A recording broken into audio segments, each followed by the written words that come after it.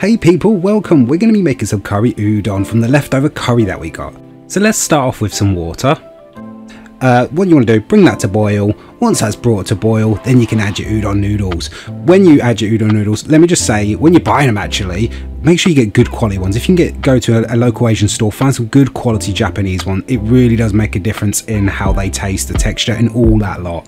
So what you want to do, follow the guidelines on the back if you can read them. These ones are in Japanese, so I had to ask my wife, but it takes 13 minutes to actually cook. But as you start off, give it a good stir so it doesn't stick together because udon noodles usually have quite a bit of starch left over on them and they'll end up sticking together. So just give them a bit quick stir at the beginning just to keep it all separated. Once that's all boiled after 13 minutes, I'm going to run that under some cold water. Now this is to get rid of that leftover starch so when you add it to the soup, it doesn't become a big thick mess.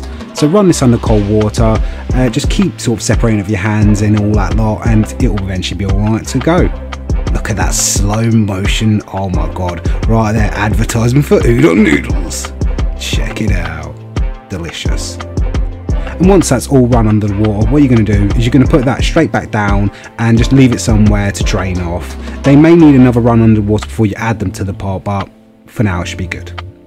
So what we're going to do is now we're going to make the base for our curry. So what you're going to do you're going to add your water first and then you're going to add mensu. There was 200 mils of water and it was 50 mils of mensu. The mensu can be replaced by dashi. I'll try and include a uh, recipe in description for that.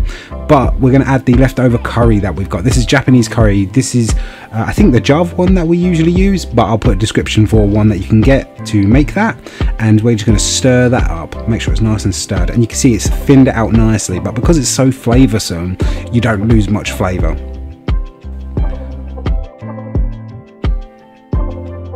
Right, and now we're going to add some of that agate. I think it's called agate, I always forget the name of it. But uh, it's not necessary, we add that because we like the texture of it and it's just great.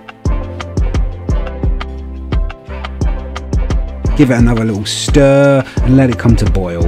Afterwards, you're to uh, lower the boil and add some potato starch. Only need a teaspoon or two, and that should be good. It just gives it that shine and that stickiness and deliciousness. And unfortunately, I forgot to add the video of me adding noodles. So just add the noodles to the bowl, then pour the curry on top. Easy peasy, great leftover, defo worth a try. Look at that bad boy. Although remember, with udon noodles, when you eat them, you usually want to wear a bib because I'm going to get this all over me. The only downside to this is we probably could have done with a bit more water, but it's going to be very thick, very full flavour. Just looking forward to try this. Mmm. Mmm. Oishi. Really good. And just leftovers.